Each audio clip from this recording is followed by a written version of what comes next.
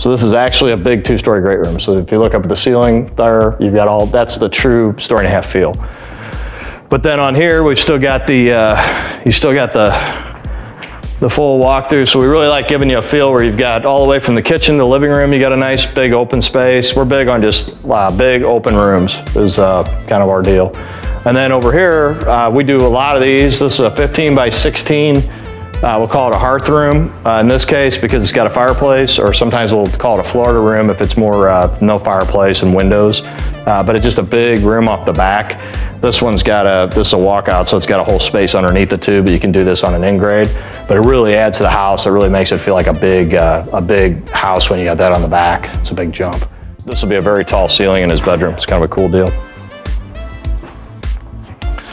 And all this is, you know, again, is all temporary, but this all this little stuff you'll see in construction. They're bracing this. They'll have these set up when they do the walls. All that stuff comes out, obviously. And, uh, and again, all these trusses, this is all an engineered system. All the metal flanges, everything that's going on here. So these are, they're put together very well. Uh, it's cool.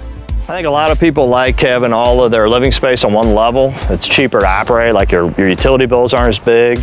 It does come with windows, so we put glass in here and stuff like that. This is just an early stage. This isn't ready to close or anything like that. The green board we have on here is uh, water repellent and also has, uh, it's, it's, just a real good material to use and it also goes, it spans the top to the bottom. It's structurally sounder than uh, some of the construction you'll see and then we use the zip tape on the outside. If you get this on you, you're done, you're wrapped up. We don't have to clean it up, you can, you can let it out. This is a real show, we're trying to be real.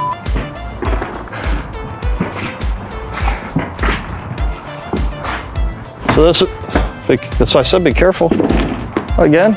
So- more concerned about making sure you're I just, that's all I ask you to do is not hurt yourself out here.